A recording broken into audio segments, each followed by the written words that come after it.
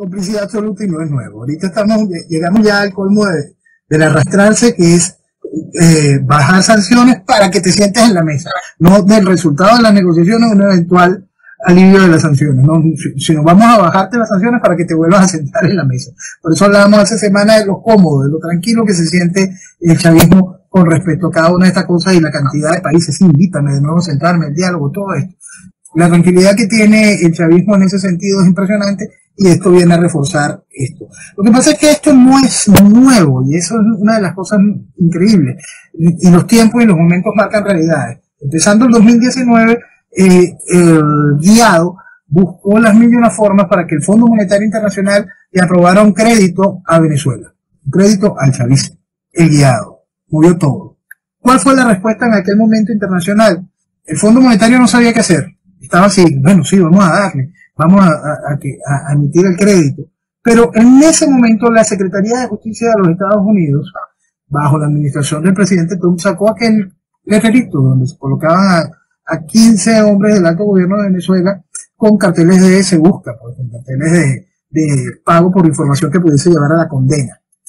Este, y allí en ese momento el Fondo Monetario encontró la excusa perfecta para poder decir, no, chicos, no podemos, eso no lo podemos hacer, no, no lo vamos a hacer. Pero este, esta es solo una nueva más, una más de las asquerosas cochinadas que ha hecho el interinato, cosas que explicábamos en el mismo principio del 2019. Eh, para el proceso del interinato yo explicaba en esa misma fecha que no se debía juramentar, que lo peor que le podía pasar al país en ese momento es que se juramentara. Y no tenía que ser en específico la, figura del guiado, podría ser cualquiera de los diputados de la Asamblea Nacional, todos hubiesen hecho exactamente lo mismo.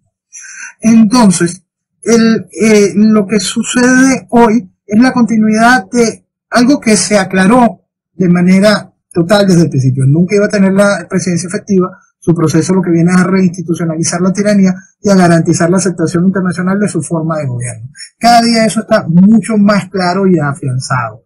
Y lo ha logrado gracias a un país de irresponsables que en el 2019 salió a aplaudir semejante caricatura, gracias a una estructura política comunicacional que salió y le dijo al país, este es mi presidente Guaidó, mi presidente Guaidó, mi amigo Guaidó, qué maravilla Guaidó. Imbéciles y traidores todos que fueron incapaces de entender qué era lo que estaba sucediendo. Muchos por complicidad de manera directa, muchos porque les encanta sostener el librito ridículo ese que llama Constitución del 99, muchos porque tienen mucho miedo a un cambio real, principalmente eso. Muchos tienen pánico a que Venezuela pueda convertirse en Venezuela. A ver, vamos un poquito a Ecuador. ¿Me explicas, por favor, qué tiene que ver Miguel Ángel Or, el presidente de la Liga Pro Ecuatoriana, el Servicio de Rentas Internas y el caso Saab?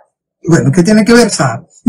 tiene que ver el lavado y el, el lavado y la gran cochinada que se hizo a través del esquema Sucre y tiene que ver en específico él porque él es una figura pública de estas que le lavan la cara a cualquier tipo de operación, ¿no?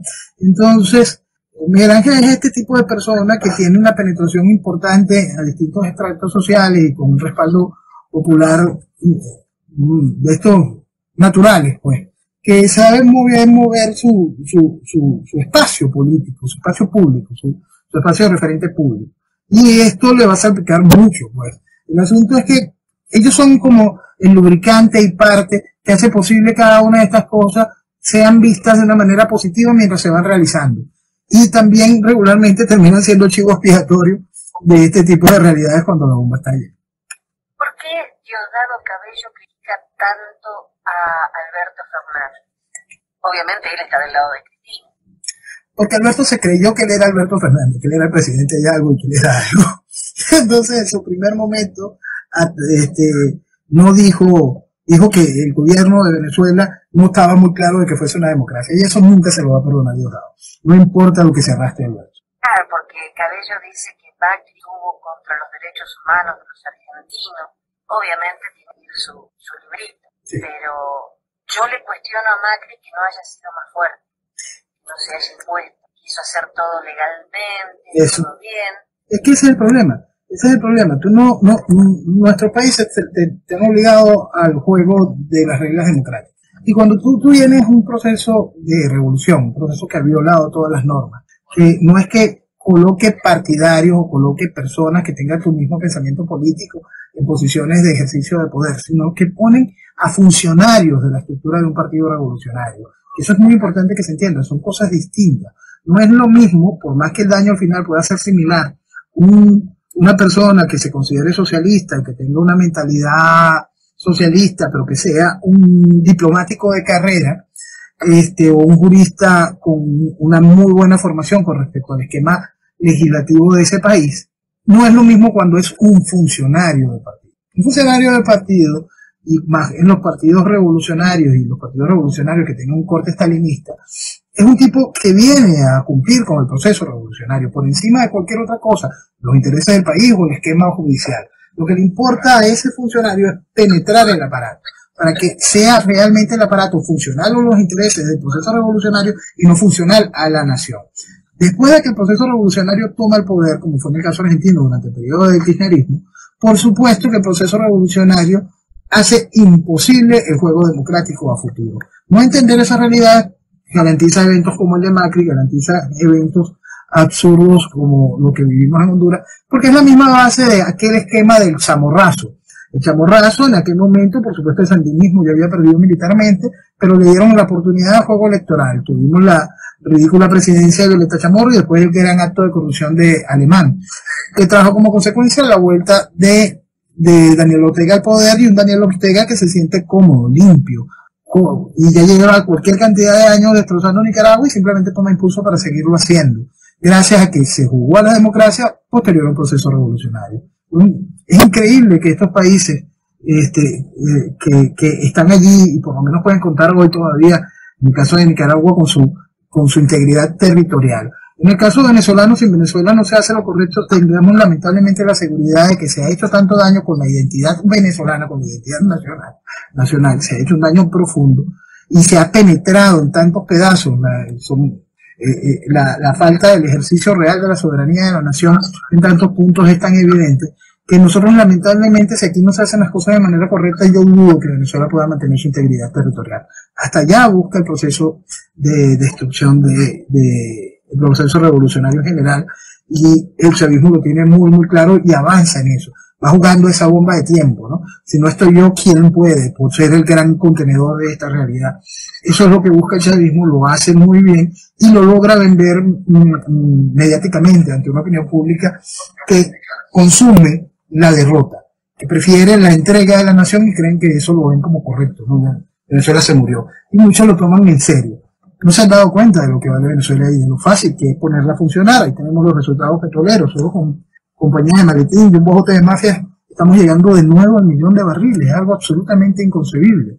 Solo con una economía de puerto, sin ningún tipo de producción nacional que valga la pena, eh, se logró parar el proceso de hiperinflación. Es decir, si hay algo que puede funcionar es Venezuela, pero le han hecho entender al venezolano que Venezuela no vale la pena. Eso es una de las cosas más tristes y quizá el uso más importante que le ha dado la revolución a su aparato político comunicacional. Aparte de sembrar dudas en la población y meterle ideas en la población en la cabeza. Ahora vuelven a de nuevo inflar el hecho de que Diosdado va a dar un golpe y va a ser el que se quede con el poder. De una vez, ni siquiera se ponen a pensar cuál es el interés, para qué, porque si la legitimidad democrática que le han brindado todos al, al Maduro funciona y por qué Maduro quisiera salir de, Diosdado si Diosdado le ha sido totalmente funcional y realmente ha sabido manejar el partido PSV hacia lo que ellos buscan. No se dan cuenta de que eso funciona, que funciona muy muy bien y les resulta comodidad. Mientras tanto poner al país a que pierda el tiempo en cada una de esas pendejadas y pierda el norte. Tenemos una sociedad de veletas que se encanta con cualquier cantidad de tonterías y una sociedad político-comunicacional que le inyecta al país cosas que solo le hacen daño. No le inyectan amor por Venezuela, que es fundamental para poder enfrentar esta realidad. Italia rechazó definitivamente la solicitud de extradición de Rafael Ramírez. Sí. De viernes ya la rechazó, así que ya no hay nada más. Y se entiende, y se entiende. Es absolutamente lógico que la rechacen, no porque sea Rafael Ramírez y lo que haya pagado o no pagado Simplemente el gobierno de, actual de Venezuela es un gobierno criminal, esa es la excusa y listo. No importa, porque hay una cosa que es muy, muy importante dentro de los chistes de lo que se representa la comunidad internacional. si bien la Corte Penal Internacional pone a Venezuela en el que tiene que llenar tu cuestionario en tres meses para decirme cómo van las distintas acusaciones que se están investigando, en este mismo transcurso tienes en la Asamblea General, en la Comisión de Derechos Humanos, una votación que hace que Venezuela pase el examen. Por supuesto, quienes toleran el examen son Cuba. Entonces, pero es que en realidad cuando se ve los discursos de la Asamblea, más allá del discurso de Cuba, y ves el resto de los países latinoamericanos, salvo el discurso colombiano, son todos tan igual de vergonzosos, ¿no? Entonces, el asunto es penoso, el asunto es realmente penoso y preocupante, y no solo en el caso venezolano. Corea del Norte acaba de ser llevada a la presidencia de la Comisión de Proliferación Nuclear. Entonces, frente al absurdo de lo que es la Organización de las Naciones Unidas y los que ponen esperanza en ese tipo de organizaciones, yo creo que esas dos fotografías muestran una realidad de lo que sucede tanto en derechos humanos como en armamento nuclear. Quedan dos minutitos, pero eh, estaba viendo que Simonovic entregó documentos a España de las actividades criminales de Luis Ortega Díaz, como si en España no supieran de que la niña no es eh, una carmelita descalza. No, y estamos hablando del mismo Simonovic que fue comisionado de seguridad del gobierno de Guaidó, que sostenía que la fiscal Luis Ortega Díaz era una santa, era una cosa tan bonita. Porque aquí hay algo que se llama coherencia política, parece que eso estuviese penado por la justicia. Noel, ya se nos está yendo el tiempo, te quiero dejar los dos últimos minutos para vos, para, para la gente que te escucha cada domingo a esta hora. Si hay algo que hay que decirle a la gente que nos escucha, es eso que, repetir eso que estábamos hablando hace un segundo, lo que vale Venezuela entender lo que vale Venezuela, la, la, importancia increíble de lo que es este país y lo fácil que es ponerlo a funcionar si se hacen las cosas con orden. Hay que entender que no se puede jugar a la democracia después de un proceso revolucionario. Hay que entender que el daño hecho es enorme, gigantesco. Hay que entender nuestra responsabilidad como venezolanos frente al caos latinoamericano hasta iberoamericano que se está viviendo por culpa de los procesos revolucionarios. Hay que comprender que todo eso se arregla. ¿Por qué? Porque es Venezuela, porque esta tierra llena de magia tiene todas y cada una de las posibilidades si se hace lo correcto. Tan sencillo como eso. Venezuela lo vale.